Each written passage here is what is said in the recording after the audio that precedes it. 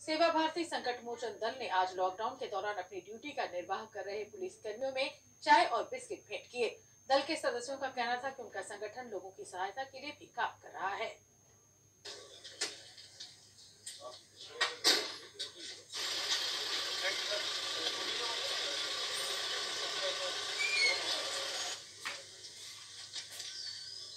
क्या कर रहे हैं कि उनको हर चौक पे जाके जिनका किसी भी और संस्था को उनका ध्यान नहीं है सोचा जो हमारी हमारी इतनी मदद कर रहे हैं सिक्योरिटी फोर्सेस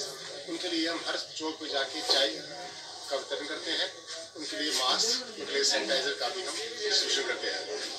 खासकर मैं हमारी तरफ़ से ये अपील करता हूँ मैं लोगों से, आपके द्वारा, कि ज़्यादा से ज़्यादा लोग इसमें शामिल हो जाएँ जितना योगदान कर सकें। काम के ज़रिए या धन के ज़रिए या